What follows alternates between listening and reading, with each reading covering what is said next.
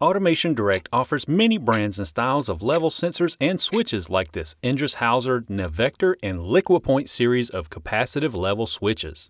Capacitive level switches are contact sensors that detect presence by evaluating differences in dielectric values. They are useful for detecting the level of solids such as plastic pellets or water based conductive liquids. The Nivector FTI 26 series is available in rugged polycarbonate or stainless steel housings, detects powders or fine grained bulk solids in silos, hoppers, and bins. Stainless steel versions are FDA compliant and marked with a 3A symbol for food industry hygienic applications. Select models are CSA approved for hazardous locations. The LiquiPoint FTW23 series, developed and built for the food industry, detects water based liquids in storage tanks, mixing vessels, and pipes. These switches are FDA compliant and marked with a 3A symbol for food and beverage industry hygienic applications. Both Hauser point level capacitive switches offer IO Link compatible models, carry these agency approvals, and come with a one year warranty.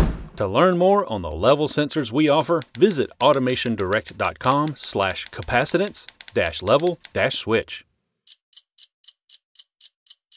Click here to see other Monday Minute videos. Click here to see more products from Automation Direct.